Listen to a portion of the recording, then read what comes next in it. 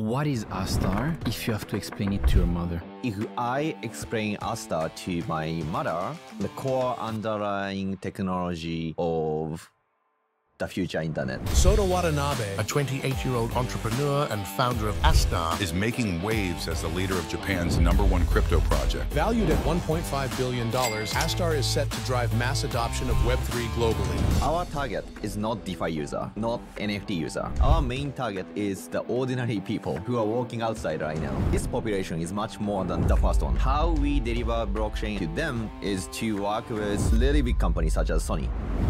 A lot of the people are using internet today, right? But they don't know TCP IP, they don't know HTTP. Similarly, a lot of the people are going to use Astar. That's why our token economics works. But they don't need to understand how it works. Astar is 1.5 billion dollar network, and my co-founder still sleeping on a mattress. In a room where there is just a mattress on the floor, Yeah, mattress. no bed. 11 executive gathered, but no one complained because we have a similar mindset, culture, and so on. That's the pure entrepreneur mindset, which is even if you make a lot of money, why would you overspend if it's not needed? We started our project from the University of Tokyo. I donated roughly 100k or something to University of Tokyo along with Toyota and other companies. What's the most important value that you learned from the Japanese culture that you will keep with you forever? I think Japanese people does not believe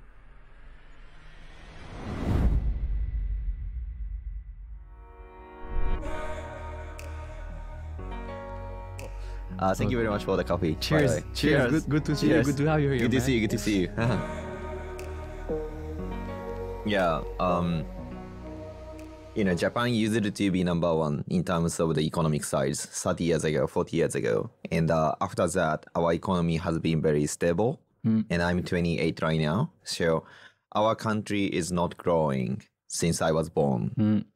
You know, then a lot of the legend has been already passed away, such as founder of Sony, founder of Toyota, and so on. They have already, you know, dead. And currently, we don't have enough role model who can Mm. play, uh, uh, who can be a global leader. And then I think we are the last generation to make a global company. I think in terms of the the you know country's economic size, in terms of the uh, narrative trends, and so on.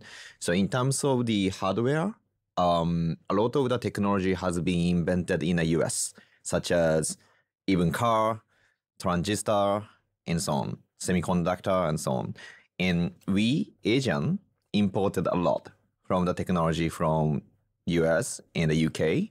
And then we commercialized that, and we make it compact, smaller, and then export. And now you can see uh, a lot of the Sony products, um, Toyota products across the globe. And now, you know, in terms of the semiconductor indus- industry, uh, TSMC from Taiwan and uh, Samsung from Korea are really strong. And when it comes to software, it is also led by the US, Mm. more specifically Silicon Valley, such as the Google, Facebook, and so on. And but uh, in terms of Web three, probably this is the first opportunity for Asia to take the lead, because in terms of the regulation, um, Mm. US is not the the government does not have a positive. It's controversial, but uh, does not have positive mindset. But when it comes to Japan, we use it to be number one, but we are losing right now. We completely miss Web two. We don't have a global Web two company in Japan. And Do you know Web3 why? comes in. Um, because it's kind of dilemma of the innovators, right? Because we are we used to win, and then probably uh, a lot of the Japanese company are satisfied with the status quo, and then they did not invest in the next technology. In terms of the 30 years ago, it was internet. Mhm. But now they understand the, the reason why we lost. And Web3 is coming. It does not need to be Web3. It can be quantum computing. It can be, uh, you know, um, um, AI. It can be fusion, nuclear fusion, and so on. But uh, Web3 is definitely one of the biggest opportunity Japan can take. And now we are backed by Sony and uh, some of the angel investors. In um, January, we announced that we also raised from raised capital fund from Samsung and also UOB. So we are now backed by Asia, and I would like to make a global product from here to US in 2024. So you're basically surfing on this trend that you have this kind of older, more legacy company that are huge Mhm. In Asia that realize that they might not be the ones, or they're probably not going to be the ones who are building the future, Mhm. but they can back up Yeah, the ones who are building the future. Yeah, yeah, yeah. I think we are strategically doing this. The one of the reason is crypto is great. Uh, Web3 is great. But um, right now, only geek people, I mean, tech people use Web3, Completely. right? and probably in terms of the percentage, it's less than 2 or 3% of the human being. And in internet used to be like this. Only tech guys create a server in your in, in their house and then make light you know you know uh, a lot of the programming codes Mm. and publish web page but but now thanks to uh, a lot of the company general people like you know my mother you know my grandfather and you know only a child are using internet Mm. without knowing the backend of the internet and what's happening over there they don't know but they're using it because it is beneficial and UI UX is really great. But when it comes to Web3, only tech guys, not only, but the majority is tech guys. And UX and UI are still very hard. So we would like to make mass adoption. And good things is 60%, 70% of human being living in Asia. Mhm. So my mission is to make the mass adoption. And the fastest way is to work with the Sony, work with Samsung, work with other big companies. Do you consider yourself a geek? I think so. yeah, yeah, it depends, right? It depends on the criteria. Yeah, yeah, yeah. but I'm more like entrepreneur rather than, you know, techie, techie guy. Who are you? Who- Good question. um, my name is Sota Watanabe, founder of Astar and CEO at Startale Lab. Um, I'm from Japan and I'm 28 right now. Um, I started um, Web3 career back in 2014 when I was a college student. And when I read Wired, Wired is the tech magazine. Um, it was the blockchain uh, it's it's it was all about blockchain, and I read it, and I realized that this is the this can be the technology which changes the world. So I decided to visit Silicon Valley uh, back in 2015 to understand tech more. And at the time, I wanted to work on AI or Web3. The reason is um, I have been to uh, a lot of the countries by myself alone, like India, China, uh, Russia, uh, US, when I was a college student. And I saw a lot of the social issue, such as poverty, you know, discrimination, um, um, global warming, and so on. And I wanted to contribute to the society through my knowledge, my technology, and so on. And being a, being a Japanese is kind of lucky because I didn't choose, right? I didn't choose to be Japanese, but I'm I'm born as a Japanese, which is pretty lucky because uh, Japan is kind of developed country, and I have been never asked money when I was in Japan. But when I go to India, um, a lot of the children comes to me and they said, "Give me money." I could not understand, so I ignore. But uh, my Indian friend translated Hindi to English, and he- he said they are asking money. So I was kind of shocked Hmm. to understand the world as it is. So I was I wanted to contribute, but I did not know how. So I decided to to work at a non non-profit organization in Japan. But I also realized that uh, without without leveraging tech, without capital, it is very hard to make an impact. And then I worked at the SoftBank um, robotics, and I was researching robots. But um, AI and the robots are already very mature industry. It's not mature in the long run, but uh, you know, compared to blockchain and Web3, it was already mature. Mm. So I decided to work on Web3 because Bitcoin was invented in 2008. So I joined the blockchain space back in 2014.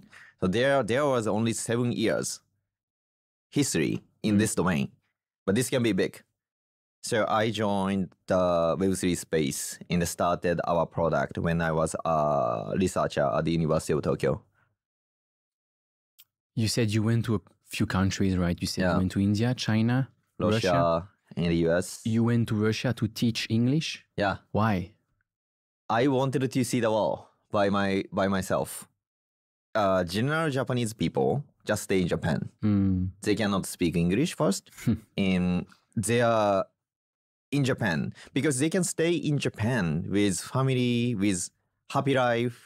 They don't need to go outside, and that's why a lot of people see Japan as the wall, right? In Japan, right? Yeah, in, in Japan. It's the same as Switzerland.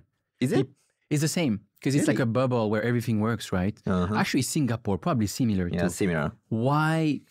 Because I moved to Asia when I was 21, Hong- Shanghai, Hong Kong, Singapore. Oh, really? Nice. And when I went back to Switzerland just for a while, Yeah. because then I was like, I can never come back to Switzerland in my 20s because it's too slow, right? Yeah, yeah, yeah. People ask me there, why would you leave Switzerland? Like my friends from universities, smart people, right? Right. Educated people. Right. Why would you leave Switzerland? And it's kind of like makes sense because you can have great jobs, great salaries, and everything, right? Yeah. So I think it's very similar to Yeah. what you experience. But Yeah. yet you said, hey, I want to go and see the world. Mm.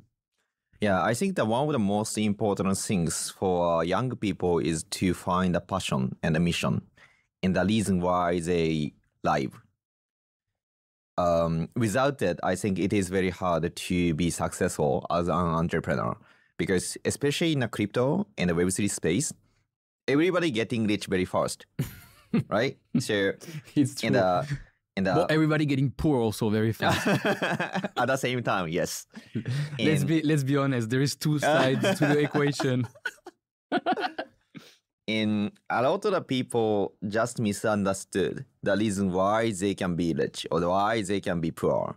Everybody is talking about other people, but uh, the truth is, it's because of your choice.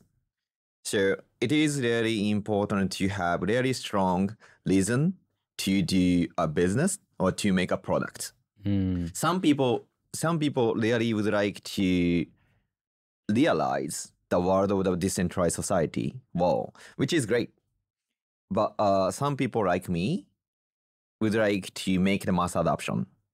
I would like to make the world where ordinary people are using Web3 as uh, just like internet. And my another motivation is Japan. I'm from Japan. So I, I feel that a lot of the people, a lot of the Japanese company, the government, uh, people expect us to be a global product. Hmm. By by leading the Asia or by leading the world, I would like to encourage other young people to do the same. Yeah. Um, What, Yeah. What's your message to entrepreneurs mhm, who want to start a business mhm. in crypto or not necessarily in crypto, Mhm. just to make money or to make a lot of money? Because this happens a lot, right? Yeah. Um,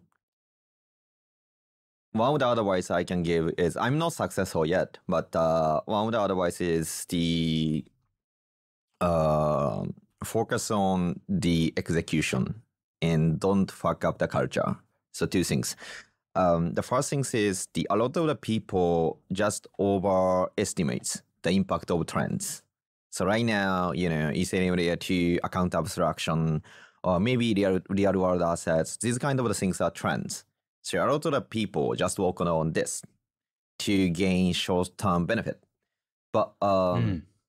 So financial incentive because this is the next wave, so I'll Yeah. jump on it, right? Not because I'm trying to solve an issue and which happens to have its kind of turn Yeah, yeah, yeah. on the on the trend. Yeah.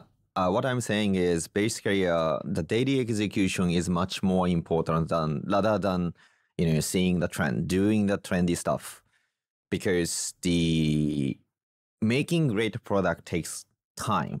So we have been developing for four years right now, and um, we improved every day, and we see execution as the most important factor to be successful. So sometimes it is it might be really difficult to get attention from the market because we are new, we are doing the trendy stuff.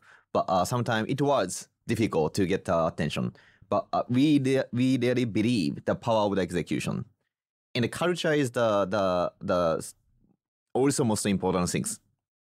Because the stronger the culture is the faster we can achieve the goal and culture is uh, kind of simply the way the the company share. Um when when we do you know something with passion. Mm. so the stronger culture is the more leadership the team has. So we can achieve the goal faster. So culture and execution. You said I'm not successful yet, yeah. right? You said you're 28 years old. You got all titles and accolades in the world already before 30, hmm but you said you're not successful yet, right? And I think even Astar is worth probably today more than 1 billion. um diluted valuation is 1.5 or 1.6 billion So, Yeah. and it's probably growing much higher, right? Yeah. In this cycle and in the future. So, what's your definition of success if you say you're not successful yet? Mm, I would say top 10 or top 5 at least. Hmm. And So, it's I- still a very yeah, number driven approach to success. this is one definition. And uh, another definition is potentially the impact we are bringing. Right now, the, our impact is only limited in the Web3 domain, right? But uh, Web3 is, aggressively speaking, just one of the industry. There are a lot of industry like semiconductor, um, you know, maybe headphone, the environment, food, a lot. And Web3 is small industry. So this is my first um, step to be successful in the Web3 domain. But I also really interested in, um, let's say, nuclear fusion or maybe AI and uh, others. By, by combining a lot of the industry, we can make the huge impacts to change the world. This is what I would like to do. But uh, in the long term, maybe 20 years, 30 years, and so on. You Yeah, I can I can talk about the Web three, but uh, you know, I'm not talking about the Web three today. we, we, we will we will a Oh, bit. we will. Don't worry. Okay. No, no, there is a, a Web three part because that's what people are here for. But I love to like talk about a lot of other things because at the end of the day, you have a lot of knowledge Mm. that is Web three, but also not Web three related, right? Mhm. And so I, I want people to really see the full picture. I mean, Mhm. in whatever time we have, which is not much. You said I'm happy. I've always been happy. I'm born happy. hmm why how can you say i'm happy right because it, it Mm. sounds kind of trivial Yeah. but obviously it's a feeling in the morning when you wake up but why and more generally i would say how can youngsters in their 20s and 30 hmm 30s become the happiest version of themselves Mm. I think different people feel differently when it comes to happiness. Um, for me, I'm running a company and uh, we are making products every day, probably uh, seven days in a week. Uh, I'm intentionally taking a day off on Saturday, but uh, I will say seven days. Um, you manage to take a whole day off every saturday yeah, you manage to not answer to emails or to messages uh, I'm messaging. okay But I'm intentionally doing PlayStation 5 right now Okay. to intentionally forget the change, Yeah. my mind. Yeah. And the when it comes to happiness, um, as I said, probably I have been working very hard. So the job is really hard, work is really hard. probably 98% are really hard. But only 2% that makes the huge impacts in the world. So Mm. let's say, uh, thanks to Astar and our small success, the Japanese regulation has been changed twice. So I feel that we are bringing the value to to the to Japan. Can you give us an example of how the Japanese regulation has Yeah. changed thanks to Astar and yourself? Yeah. Um. So let's say we came to Singapore three years ago because of the the tax on unrealized gain. Mm. So it was not possible um, to issue the token in Japan. So let's say if Astar was, um, we issued a token in Japan, our valuation is let's say one billion to make it to make it easy, and then foundation, our company on let's say fifty percent to make it easy, right? Mm.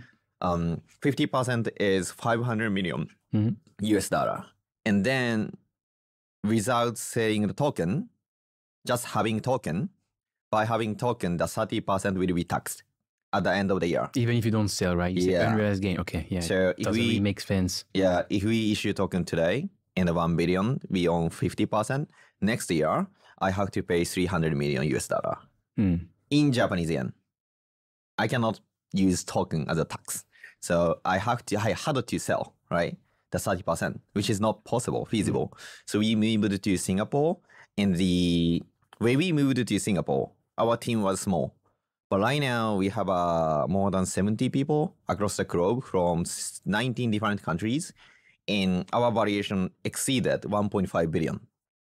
And then the Japanese government realized that if we make Astar in Japan, we had to pay 300 million, which is not possible. Mm. They realized. And then from the last year, they changed the law, tax law, and now there is no tax on crypto.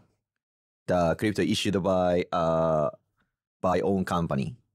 There is no tax. And from this year, there is no tax on unrealized gain for a company.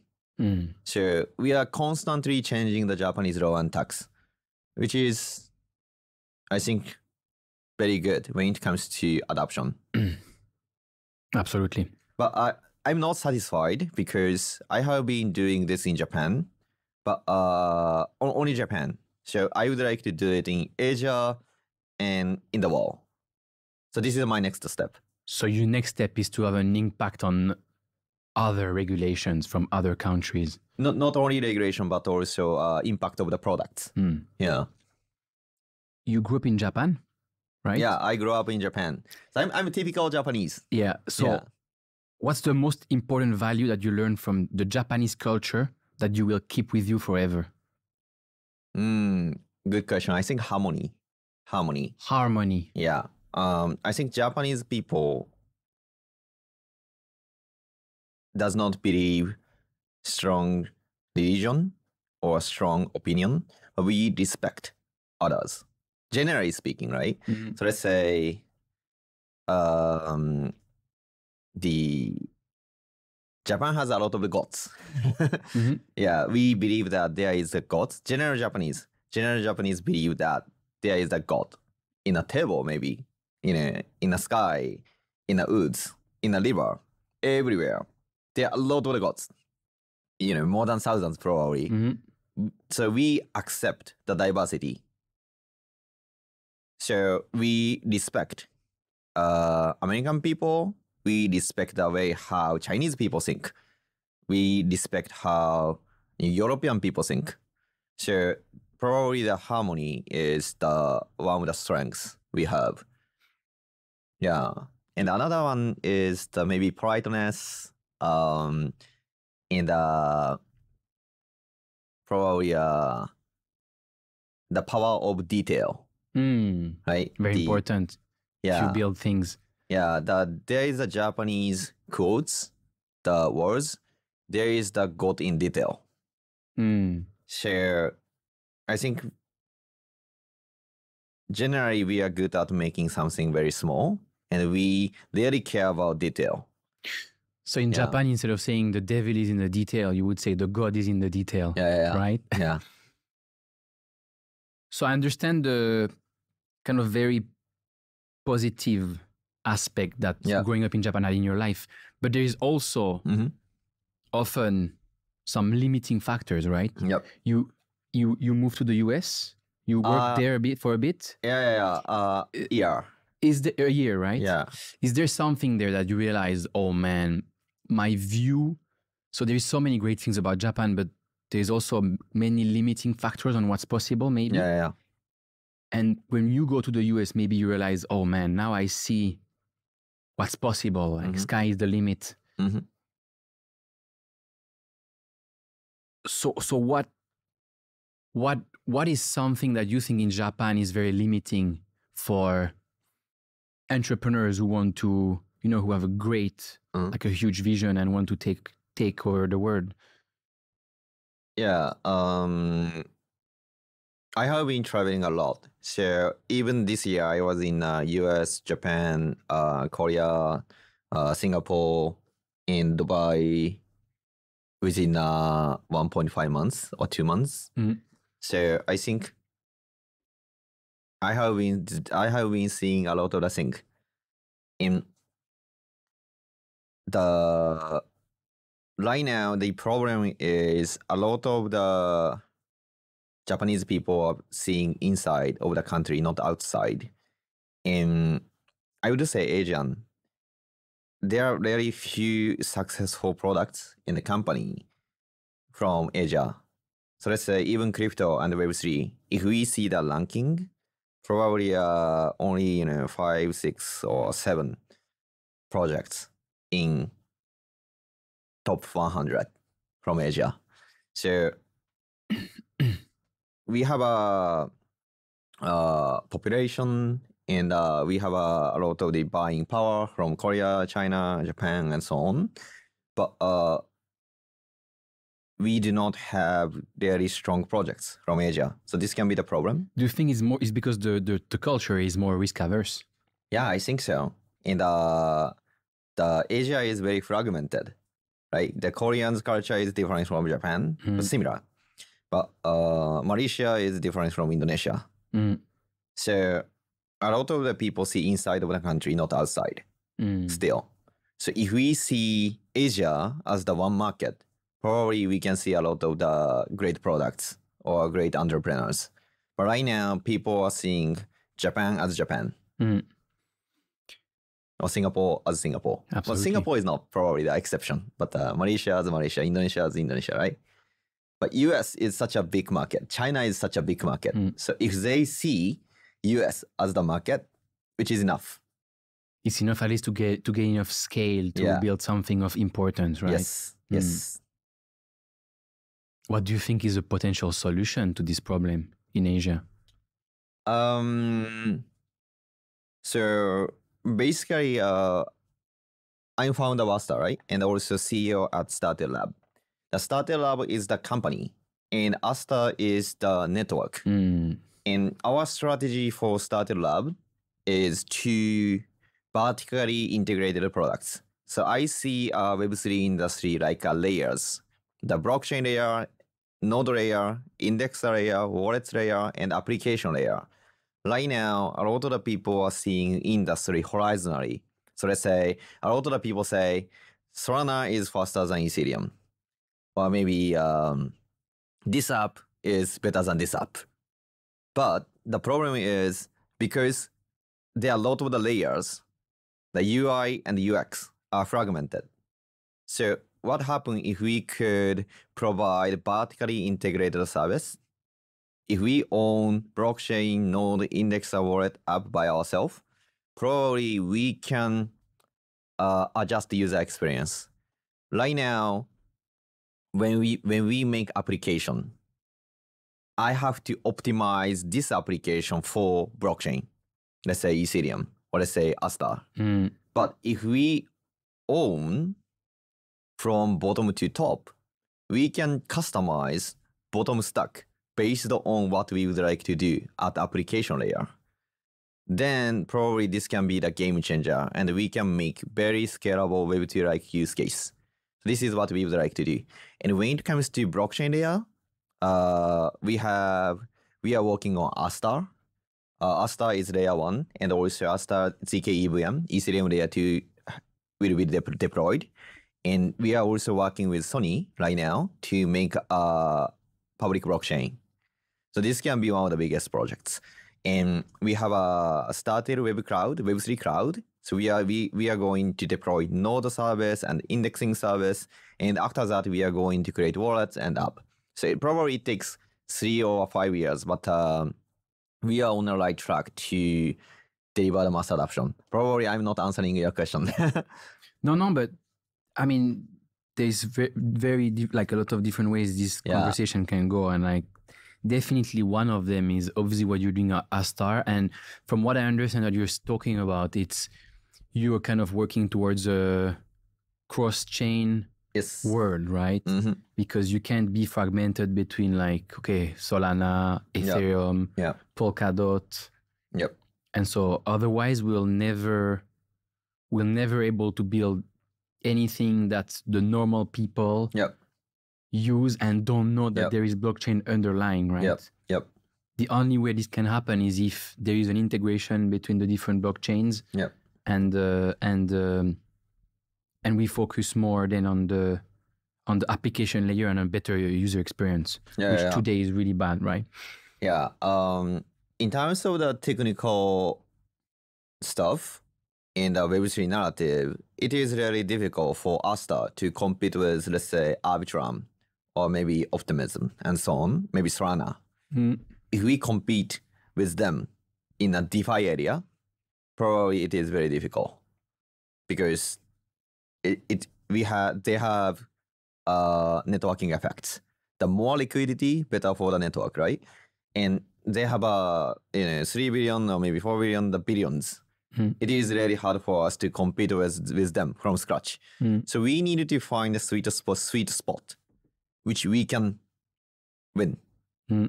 and this is going to be um, probably um, you know mass adoption area so our target is not defi user not nft user this they can be a target, but they are not core target, main target.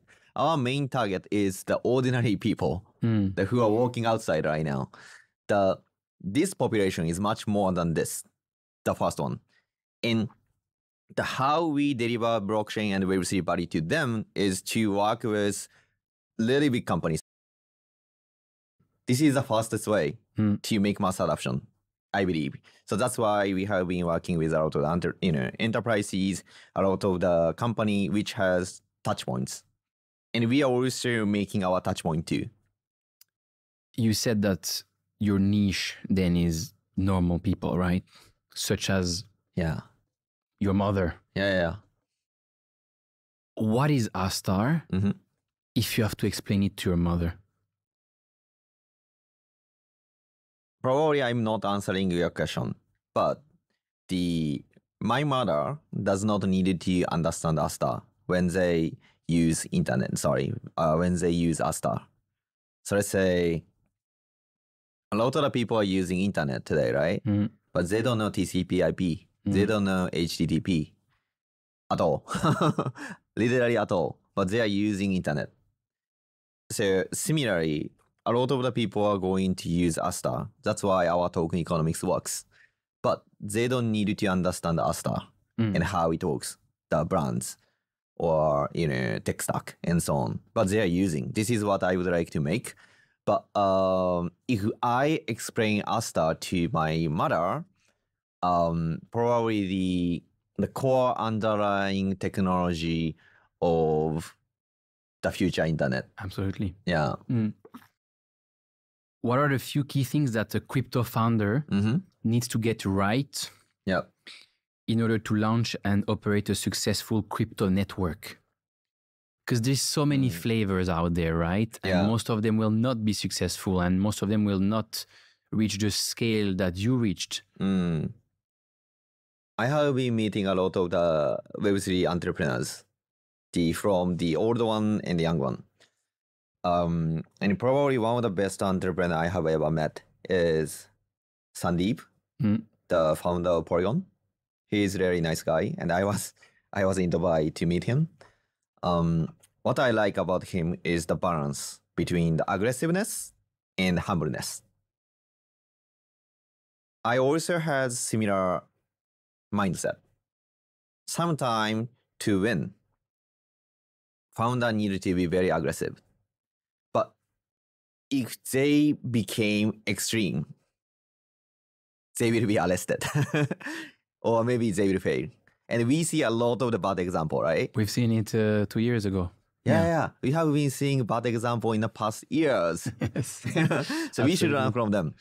And the humbleness, and that's why humbleness is needed. Because even though how many how much they are making money, we are still small. Web3 is still small industry when we compare Web3 to internet, Web3 to foods, Web3 to housing, and so on. So we are still small. So we have to see us as one of the entrepreneur in the world. If we see them as one of the Web3 entrepreneur, they can be big. But if we see them as one of the entrepreneurs, we are still small. Mm. So light mindset. So founder cockiness Yeah. is a big red flag Yeah. and potentially or let's say it's more likely that the pro- project even if it's kind of very successful now it looks like it it's more likely to fail Yeah. I think so. and it's very easy to spot founder cockiness because uh, because usually the cocky founders they have the biggest mouth right Yeah. so that's why the balance. but maybe on their to their defense right Mhm. because crypto is a crypto essentially, essentially every crypto project is an echo chamber Mhm. because there is a token linked to it Yep. and therefore people's money net worth is tied to the token Yep. so do you have this it's it, all, every project almost becomes a religion right Yep. so you're you're much more likely to have people attacking other projects Mm, Yeah. and so i mean obviously the, the the role of the founder would be kind of to ignore that and keep building but it's probably easier said than done right Mm. Yeah. what what, what do you do if someone attacks Astar It is okay. The one of the strengths of the Japanese is just like I said, the, I respect. I Yeah. respect I respect their opinion. But I disagree sometimes. Mm. But I respect the opinion. Now the feedback is just a gift, right? If they say something, we have a room to improve. That's a which is a good thing. That's an amazing way to look at that. And uh, Yeah. actually, the other day we because we released trailers for this episode, kind of Hollywood like trailers, Yep. and uh, we ha- we had a lot of great feedbacks on those. And then the other day we released the the one from Wintermute, Mm. and the internally we checked with the team and it's oh it's amazing. The co-founder also loved it, and Yep. then the other co-founder, I mean the founder, and he just posted on Insta uh, on Instagram on Twitter and Twitter. said something like, "Hey, some people will need uh, some time to recover from that Mm. because it's too intense, right? In terms of Mhm. like you know, it's a very kind of like YouTube way or Instagram Yeah. way of doing like trailers. Yeah. Because our generation, we need to keep people enter entertained. So you have zoom in, zoom out, things Right, happening, right? right. And so, and then obviously, if you have someone who is of a certain influence saying that, Yep. Yep. then you have all the people in the comments starting to attack, right? Yeah. And then I showed that to uh, the guy who does our trailer, who I think makes an amazing job, right? And I'm not the only one thinking that. But I was thinking the same way. Mm. Feedback is a gift, but I just said Yeah. nothing. And I could see that he was really kind of, oh man, like this is really bad. And I, for me, I was just thinking, oh no, man, like every feedback is a good Yeah, yeah. feedback. Even if it's a terrible feedback, Yeah. you don't necessarily have to acknowledge it, Mhm. but take it into account and realize Yeah. there's other people with other opinions and maybe it can help you kind of like make this last you know one or two percent difference Yeah. that's going to be even better at the Yeah. end right Yeah, one hundred percent. I got uh, a lot of the attacks, especially when the stock price goes back, goes down. I love how you laugh about that because like but, uh, the interesting thing of the crypto is if price goes up, your project is the best project in the world right? If the price same goes person, down the, s- yeah, the same person change their mind. yeah yeah. The, the- yeah, which this this is a very interesting one because it leads us to the community, right? Yeah. And in crypto, there is a big focus on the community. Everybody talks about community, community, community, Yeah. which is definitely very important and which you've been able to do really well, both with your personal brand, but also for Astar, build a, a community of almost cult like community, Yeah. like very Yeah. sticky, engaged users. But let's kind of like play a bit of the devil's advocate and be very frank and honest about this word community in crypto hmm it's a community when price goes up. But when price goes down, you start to realize that the community is not as strong as you might think. Yeah. And it's more the money that people make that's kind of tying them up together rather than, uh, you know, the, the kind of meme, I'm in it for the tech. Mm. What do you think about that? How much do you think the majority of the people are really there for the the tech Yeah. Right? Um, yeah. versus hey man my bags are going up therefore i love everyone you know i'm a pe- i'm a pudgy penguin i love everyone hmm. i'm a i'm an Astar holder i love Yeah. everyone like it's amazing it's the best project in the world but there will be like there is every 3 to 4 years there will be a top Yeah. and then there will be a mega correction Yep. and there will be people who are very angry people who are losing everything Yeah. Yeah. Yeah. and people who again attack Yeah. yeah. right and attack you we had the the the the, the founder of request network also like went into the billions Yeah. and then down 98 99% Mm, really? and, and he said he said it destroyed him yeah. because he said i realized that uh, in the discord Yeah. the community that i thought we were building Yeah. was just there for the money Yeah, yeah, yeah. Yeah, I can imagine. And it, it's true. A lot of the people join the community because of the money they can make. But uh, at the same time, the everything is opportunity. The price goes down, price goes up. This is, you know, it's not only crypto, but also stock, right? The everything goes up and it goes down. There is a trends, and we can find real friends when the price goes down the one lesson I learned during the crypto winter is the the the core people who are passionate about tech, who are passionate about the future of the Web three and the vision of the Astar, survive, remain in a hard time, and we have to treat them as the number one customer. Mm. This is the essence I learned, and the winter market and when price goes up goes down this is the good opportunity to find one. Absolutely. Yeah. And this is the one of the things one of the reasons why Astar culture and our team is potentially stronger than others because we hire the people based on the mindset and the culture fitness. And we hire the people because they can work even harder when market goes down.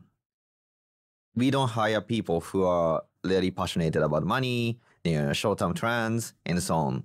The right, we need people who has right mindset, over skill, and over capability. what's the key to building a strong community for a crypto network The first thing is the leadership. A lot of the crypto people and crypto entrepreneur consider leadership in a different way. Um, you know, the decentralization is the beauty of the Web3 and the power of the community. But uh, many people think fading themselves uh, themselves out is kind of decentralization, just like Satoshi Mm. which is Satoshi is good, but um, we cannot remake Satoshi, right? In instead, we should the leader should increase other leaders to be more decentralized, making himself himself phase out. So one to zero is not a decentralization. Increasing number of the leader, one to 100, one to thousands leaders means decentralization for me. So I'm still taking uh, leadership in the Astar community, I think. But at the same time, I'm I'm you know allocating my resource, my knowledge, uh, my job scope to other leaders. And then right now, other leaders are taking more responsibility. And we are increasing number of the leaders in a community and in a company. So this is the way. And so for that, obviously, you need to put yourself in front, right? And you need to. Yeah. I mean, you basically need to every each of these projects. They need to have almost a cult-like leader, right? Yeah. It's like a religion, and then people are are, are kind of admiring the leader, Yeah. and it's something you've done really well, right? Yeah. I think so. and it all comes down to personal brand, which obviously can be crypto very important, but it's actually the case in every business today. Yes. Every, I think it's Balaji who said every company is a media company, right? Yeah. And it starts with the leader and his pers- or his or her personal brand. Yep. So how important is personal brand to you? Uh, for me, I'd say Um, for you and for other people who want to build businesses. I think generally, I think the if we see a market, the investors, I mean, when it comes to stock market, the investors and uh, people invest in dream, Hmm. right? Majority of the people does not see a profit and loss. Majority of the people does not see a, a company's financial statements. Majority of the people buy dream. That's why Elon Musk is such a big man. Absolutely. he is really nice to make the narrative and make dream people believes in, right? In in in this case, I think uh, taking the leadership in a community and clearly state what I would like to do is very important in my personal life too. In Jack Ma, the founder of Alibaba, said the money follows people and people should follow their dreams. So I'm following dream and money follows. And what I would like to do is I to be honest, I don't really care about my personal money. I'm single. If I'm married and if I have a kids, maybe different, but I'm Mhm. single right now. so I don't really care about my personal money right now. But probably uh, if I became 30 or if I became 40 or 50, probably what I can accomplish or what I would like to do can be really big. Like, you know, go to the space or nuclear fusion or maybe, maybe uh, you know, AI data center or something, right? Mm. It takes billions. Mm.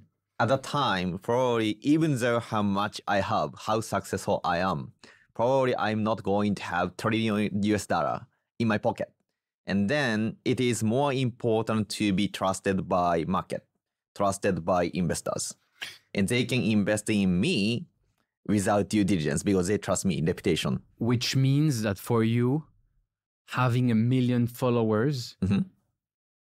is much more important than having a million dollars in your bank account. Yeah, 100%. Like influence Mhm. eats money for breakfast, right? Yeah, Ish. ish. I, I, I'm really like a minimalist.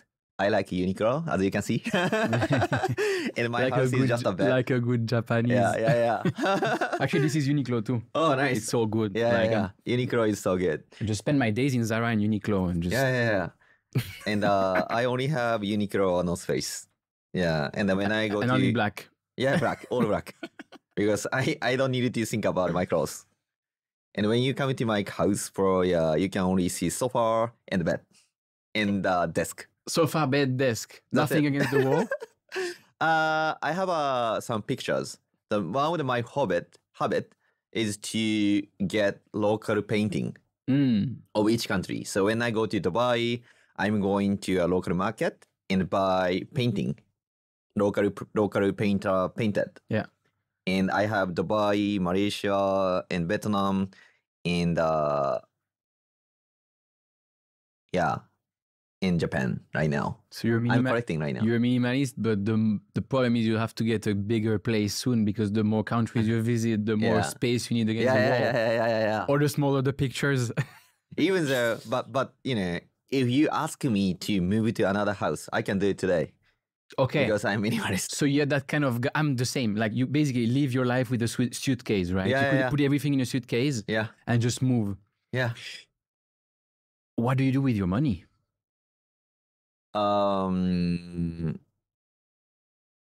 No, I don't know. My bank account, the money in my bank account is just increasing. That that's it.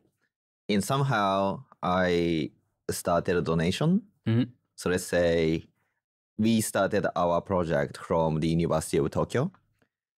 Um, and we graduated from um, kind of program. And then now I it's gonna be announced by the end of this month. But uh, I donated roughly 100k or something to University of Tokyo along with Toyota and other companies. Mhm. Then um, a lot of the young people join the program and they consider new architecture of the blockchain or they can be the Web3 entrepreneurs and so on. So yeah, uh, this kind of the stuff. And I'm buying, I'm buying Bitcoin. That's it. and that's that. Obviously. Yeah, right. Obviously. You position Astar as Japan's go-to blockchain platform. right now, yes. Why did you choose a more regional approach hmm to blockchain building when one of the key strengths of the blockchain is that it's borderless? That is really good question. Um, I'm like Web3 entrepreneur, more like philosophist. So when it comes to Astar, we intentionally started from Japan and we are making layer one, and layer two. And if we see only tech, probably it is really hard for us to work, you know, compete with Polygon, compete with uh, Optimism, Arbitrum, and so on. One of the strengths is geological presence. Um, we really have strong presence in Japan right now, in Korea, in Asia potentially, and then in the long run, no one no one talk about Japan. It's kind of startup strategy. So first of all, what we have to do is to become number one in a niche small market, and then expand horizontally. Japan, then Korea, then Asia, then probably the global. Mm. so this is the right strategy and approach, even though blockchain is global. Which makes a lot of sense. Yeah. I mean, obviously, asked the question, but I Yeah. kind of, I mean, I knew it's exactly what every startup or project should do, yeah. right? Even we talked in the in the podcast with James Hu, and he said that one of the things he really likes about, I mean, he loves about Astar, but like the one of the things he's looking for in these uh, different blockchain projects is which one are solving a specific problem in a specific place. He talked Yeah. about Turkey, and he talked about Astar, obviously in Japan, and. Uh, what's really interesting is it kind of goes against i mean it's very logical Yeah. every company should start with a product in a niche right Yeah. and a specific target customer a specific country does this mean but but yet you you you have your mission which is Yeah. web 3 for billions Yeah. right Yeah. do you believe in Silicon's Valley think big, right? And Mhm. blitz scaling, and you know Mhm. we should like go as quickly as possible, and kind of, I mean, you know the the Uber Uber model or yeah. Airbnb, which is I just go out there, I spend a lot of money, and just try to acquire market shares at Yeah. all cost, and Yeah. i- which is the opposite of what you've been doing, right? Yeah. Um, but I think Web3 is more like more decentralized when it comes to uh, market, engineers, people, and so on. I think 70% of the Web3 players are living outside of the US or something. And uh, a lot of the trading volume still in Asia, like Korea. So we have geological strengths. But at the same time, Web3 is not solely uh you know it's it's all about it's it's not all about the some somehow Web3 is competition because there are so many people, so many entrepreneurs, so many similar projects. So I think the kind of blitz scaling and a more startup mindset is also needed. But at the same time, the difference between blockchain and Web2 product is the security and also how to develop the products.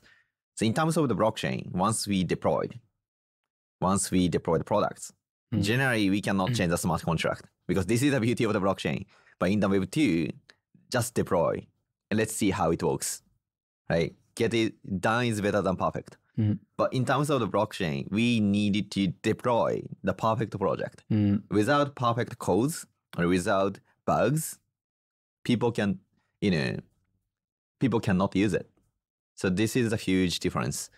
But uh, yeah, uh, winning in a niche market and go global is kind of strategy. And right now, everybody is talking about Astar and Japan. mhm. When when people comes Astar, they consider Japan, and vice versa. But in the long run, so let's say in 10 years, if we people see Astar, they don't think about Japan. And I have been making this strategy. So we will see. If you had to say, what's the one thing that Astar is doing better than its competitors? Uh-huh. Um, the one thing is the clear strategy. I don't see uh, any geological chain when it comes to competition. Mm, So a lot of the people um fighting and competing in a Web3 tech domain, which is good. And we also need to compete with them in some way. But when it comes to competition and the idea of the mass adoption, still they are in a Web3 Web3 world. And I'm also seeing Web 1 and Web 2 world outside of the Web3 to make Web3 ecosystem bigger. So my market is very different from other Web 2 founders market. mm, The market Web 3 founder consider. So the this can be uh, the difference of the strategy and this can be a strength of Astar. And I believe that Web3 ecosystem can be much bigger by connecting Web3 to Web 2. mm. So not only you're going local, Yeah. starting local and then growing, Yeah. but also you're going for different target customer, which is Yeah. Web two and normal people who don't really understand and don't really care about Web Yeah. Yeah. and, Whereas the uh, other blockchains they compete on this Web three very techie user base. Yeah, which is good. And we should be techie. And we are investing a lot of money, a lot of people to develop innovative products. So we are also competing in a tech domain. But uh, when it comes to tech domain, other competitors are also very strong. Mm, So we need to find other strengths, and this can be, you know, geological strengths. This can be, uh, you know, connecting to Web two and Web three.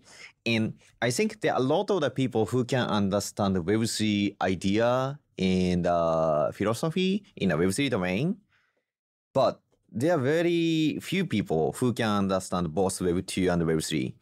The business scheme and how they behave and the speed is really different. mm, Yeah, the way how we work with Sony is really different from the way I work with Web3 company. Yeah. And the we are also speaking with the government, talking with the government and understanding their mechanism.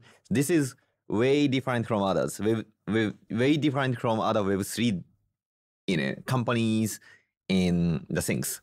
So understanding both is kind of very tough but this can be our strength. You decided Yeah, to build Astar on Polkadot, yeah, yeah. right? Astar is the largest chain in the Polkadot Yeah. ecosystem. Right now, Why did you choose to build on Polkadot? uh, this is also a good question. Um, probably, as I said, I'm more like Web three entrepreneur who is good at making strategy. Um, so when when I started uh, the Web three project, Ethereum was already big. Know, there are a lot of great project, a lot of the great layer twos, and so on. So it was really hard for me to compete in a Web3, uh, sorry, Ethereum ecosystem. So my our idea was start from Polkadot, and I really like founders of the Polkadot, and I believe the mission of the Polkadot founders. And at that time, Polkadot ecosystem was uh, smaller than Ethereum.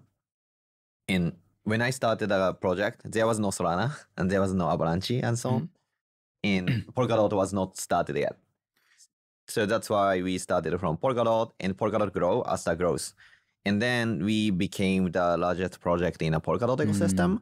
And then we got, we're gonna deploy Ethereum layer two. So the bet is probably you would have said, oh, it, Ethereum would have been a good match, right? But Yeah. it's too difficult to differentiate yourself because there's too Yeah. many projects. Therefore, what's one of the next big chains that I think is going to be big and that Mm-hmm. still not big today? Ah, Polkadot. Yep. And let us become one. Yeah. I mean, now you, are the one, Yeah. the largest chain, or one of the largest chains on the Polkadot ecosystem. So Yeah. people know about us Yep. and then expand Scale. to other to other Yeah. chains from there. Yeah, that's the plan. Mm. Um, the as an entrepreneur, the most important things is to make the future and wait, and times comes. This is important. A lot of the entrepreneur just follow trends, then they will lose. And let's say AI. Um, AI was a big trend last year, and then a lot of the people pivoted from Mm. crypto to AI, or you know, you know, a lot of the place to AI. Everybody is talking AI. That's why they're gonna lose, right? Yeah. the OpenAI was founded in 2014 or 2015 or ish. And then they have been developing a lot. Mm. And now they're winning. So Mm. it takes time. So they created a future and wait and times comes. It's gonna be the same. So we have been working on Polkadot. Wait, times comes, and we became number one. And then Ethereum layer two is the hot topic, and we have been developing right now. And we're gonna launch, and we're gonna onboard a lot of mass people to Web three. Yeah. So, so James Wo, hmm the crypto billionaire and founder of uh, DFG, Yeah. he was on the podcast a few months ago, a few weeks ago. Yeah. Yeah. I That's saw the it. reason why basically you're here, right? and he thinks that you and Luca Netz are some of the best builders in the space. Mhm. And you both are, I think Luca is 25, you're Oh, wow. 28. yeah. So basically, you're super young. I mean, James is also young, he's 30, but he was like, they're younger than me. And they're amazing, right? In crypto, there is no age or race discrimination. It's a very meritocratic system. Yeah. Why is crypto the absolute best place to build for hungry youngsters with a big vision? Um, that's a good question, but I have really clear answers because the industry is not mature yet. Hmm. Uh, the reason why I chose Web3 back in 2014 or 15 is there was almost no history and everything is chaos. But let's say AI, a lot of the professors, a lot of the people there, and their age is 50 or 60 or 70, and some people already passed away. So there is the hierarchy in the industry. But Web3, it's not yet. And if I was born, let's say 30 years ago, I would work on internet. Mm. If I was born 20, 10 years earlier, I would work on iPhone, phone, Mm. mobile. And Web3 was born in 2014, uh, sorry, um, 2008. And probably the concept of the Web3 became popular in 2021 or 2022. Mm. So we just started.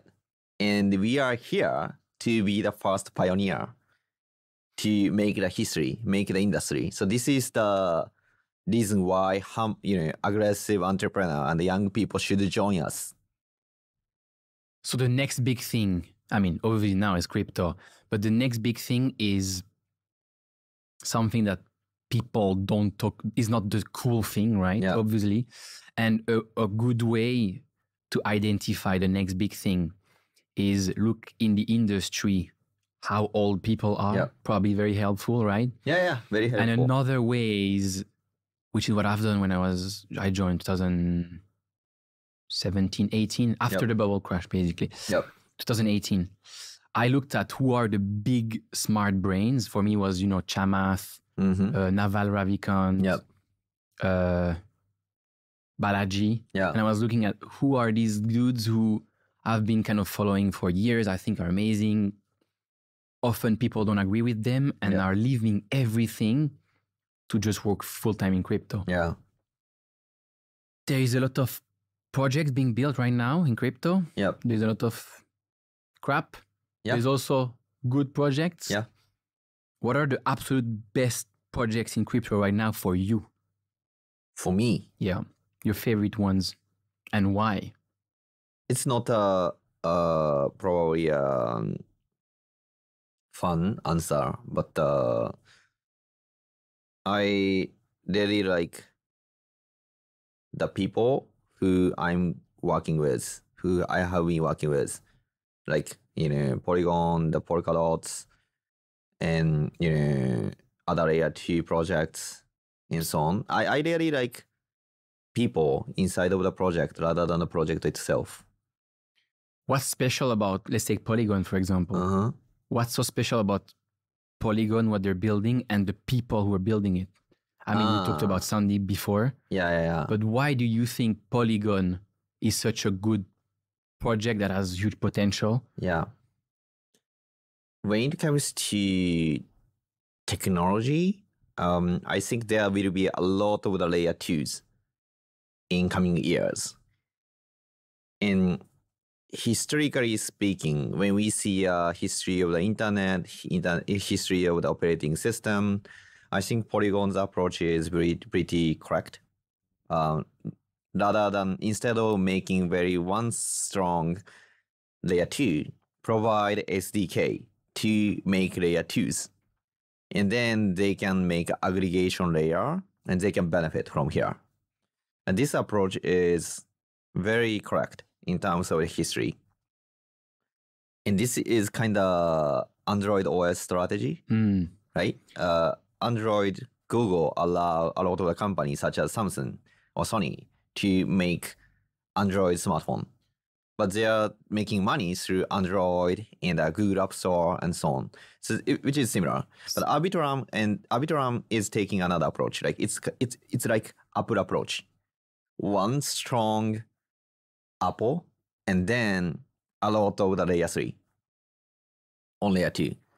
But I think So, so Polygon, you would say, is a platform yeah, for others to build layer twos Yeah. on the top, right? Yep. And so by doing that, they're kind of like diversifying the risk. I mean, Yep. lowering the risk because they're becoming the platform themselves. They don't have to make a specific choice. Yep. And And, and also, it, it, it probably, I mean, it can only become much bigger because platforms themselves Yes. become much bigger uh, Yes. than applications themselves, right? In pretty much any industry. yes, and uh, Polkadot is also taking the same approach, right? Polkadot allow other people to make layer one and connect. So it's kind of Android strategy. And the difference is making Android outside of the Ethereum or inside of the Ethereum. Mm. So I think this approach is correct. So outside of the Ethereum, we are working with Polkadot. Inside of the Ethereum, we are working with Polygon. Yeah, in terms of tech, and in terms of the people, uh, let's say I was in Dubai last month, last week, and uh, Polygon's people are really humble. uh, when I visit their office, you know, nothing shiny, basically in the office, and the office is not big potentially to save the fund or you know potentially to be humble but uh, i really like this kind of the mindset that's, even- the, that's the pure mindset, entrepreneur mindset, which is yeah I mean, what it should be. Even Yeah. if you make a lot of money, why would you overspend if it's not needed? yeah Because there will be tougher times, right? Yeah, Where yeah. you are happy to have the money that you didn't spend in a lot of yeah bullshit, right? yeah and we have a our company has very similar culture and i'm still using the a lot of the economy flights and my co-founder stay in my house when he comes to singapore to save That's amazing. That's amazing. yeah yeah In a in a room where there is just a bed, but, but there's just a mattress on the floor. Yeah, mattress. No bed. yeah not bad he is sleeping no on bed mattress frame. Yeah, yeah. he is sleeping on a mattress. We are. That's uh, amazing. Astar is 1.5 billion US dollar uh, network, but he is still sleeping on a mattress. and uh, we had a company camp in Dubai, and 11 people from, I think, five or six countries gathered at one place. And uh, Maarten Henskens, he is the head of the foundation, booked Airbnb for 11 people. And he said, I booked the Airbnb and your room is here. And the bed is only one there. And you and your Shun, he is CEO, is going to sleep on the same bed. he said to save fun. It's okay. Yeah.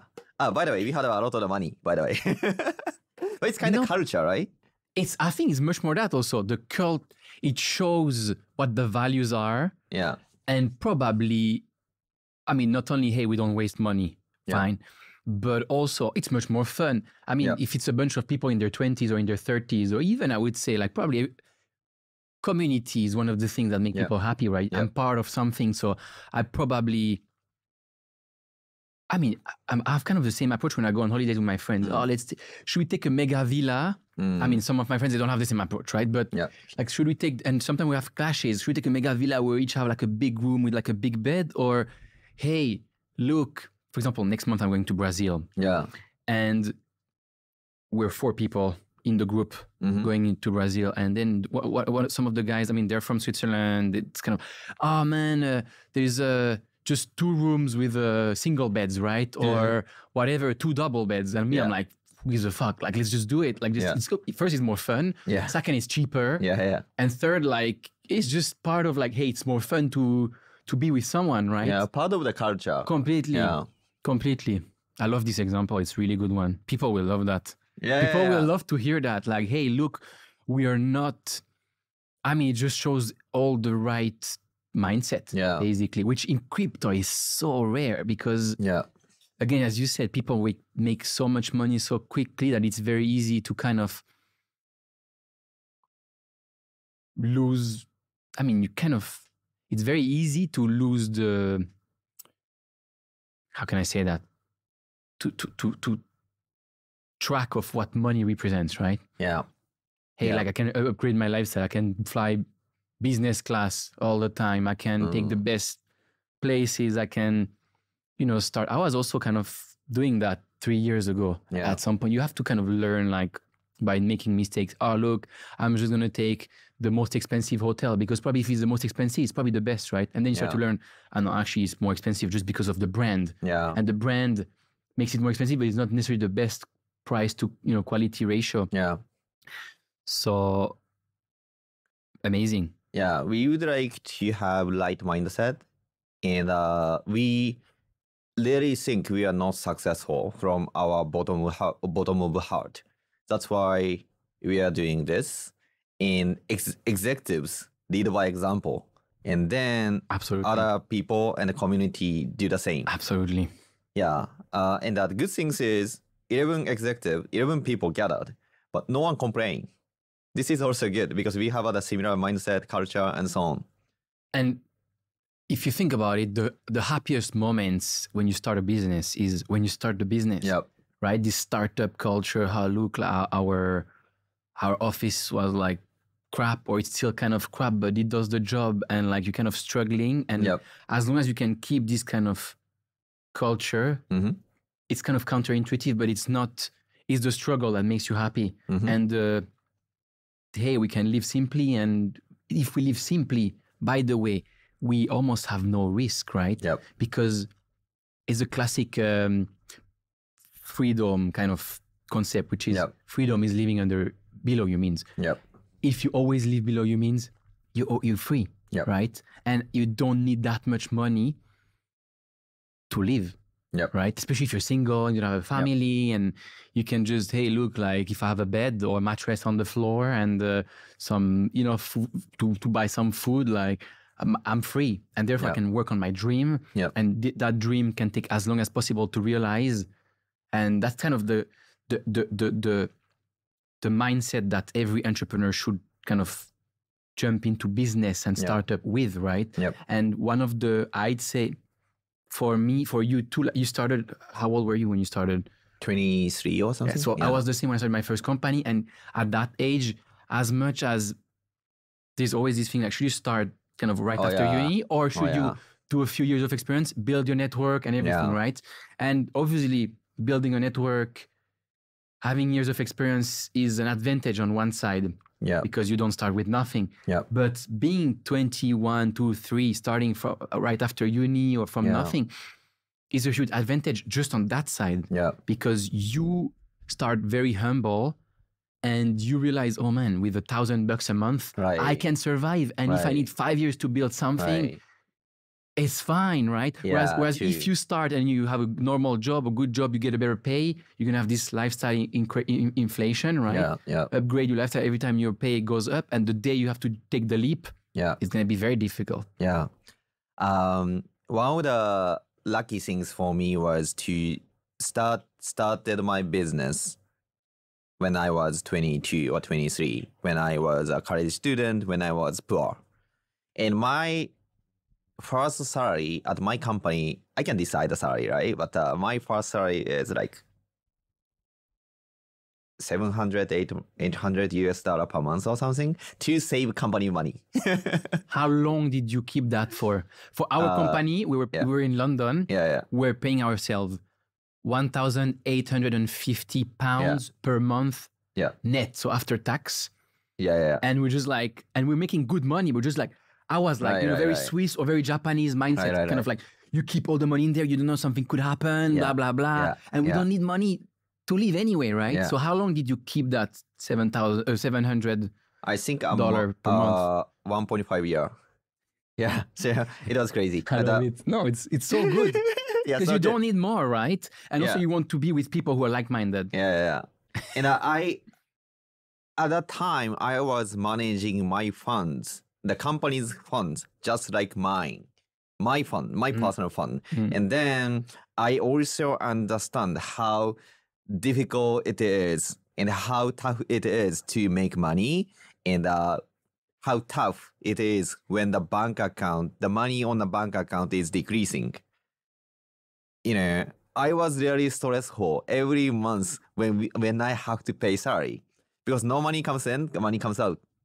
So it was really hard. That's why I understand how difficult to make money from customers and how important it is to keep me hungry to work more. Mm. Yeah, that's why you know even though Astar is 1.5 billion, uh, we are still very humble. Mm. Absolutely, and, and not only to make money from customers, but then to get paid, right? right, right. Because you have all the Employees. I mean, so you you invoice your clients, but they Yeah. don't pay directly. Most of, I mean, I'd say like at least when you start a company, so you use 30 days, 60 Mm-hmm. Yeah, days, yeah, and then you have like these cash flow problems. Yeah, and yeah. Cash something flow. that I always try to explain to my friends who say, "Oh, I'm an employee, I'm not free, uh, my boss this, my boss that, my company." I'm like, you don't imagine how lucky and privileged you are to have every 25th of the month a freaking salary Right. that comes into your bank account and you don't understand that someone needs to kill themselves behind just Yep. to be able to have this salary at that date because if it Yeah. doesn't fall that date you're going to be like what the fuck is happening with this Yeah, company yeah. it's not a normal company Yeah, right they don't see all the mechanics behind it which is you need to find clients then you need to do the work Yep. and then it needs to work like it Yep. needs to be delivered and Yep. then you need to get paid which you're not necessarily paid directly right and there is all and it's an amazing exercise very young to see both sides i'm an employee Right. from my company Right. but i'm also the employer and I have this money to manage and fuck man is going down yeah. and is not right and and and, then you understand ah the more we're simple on the yeah, yeah, yeah. employee side uh, the more it's going to be the less it's going to be stressful for the employer side right and the more you keep this culture longer the more you have time to build your dream Yeah, I have been very lucky because I have done a lot of I have done a lot of the things by my own. Let's say paying salary by myself, making invoice by myself, making company's logo by myself. So I can understand how hard it is and uh, how stressful it is. what's your key takeaway from today's conversation be humble and and the be humble is the number one things and having the right mindset and um aim higher i mean achieve more with right mindset which would mean don't change your life habits, even things get Yeah. better. And Yep. instead of becoming more complacent, Yep. aim higher and keep the same lifestyle. Yeah. And people should consider the reason why they are here. I mean, in the Web3 space, or maybe why they live. Some people only want to make money. That's that's okay for me. But uh, to be successful in the long run, we need a social reason to work harder. It can be, you know, on behalf of Japan, or it can be a uh, I mean, it can be representing Japan or specific nation, or you know, solving social problem, whatever. Yeah, having these kind of the social strong, the reasons is the key successful factor for entrepreneur. Thank you so much for your time, man. That Yeah, thank you very much. conversation. Yes, thank you very much for having me today. Awesome. Thank you. Thank you.